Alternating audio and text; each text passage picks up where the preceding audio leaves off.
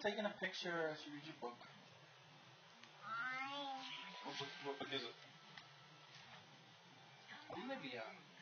Okay. I'm just gonna take a picture in a minute, okay?